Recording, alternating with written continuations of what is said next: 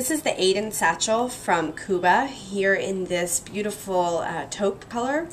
The bag has a leather panel and a leather handle on the top.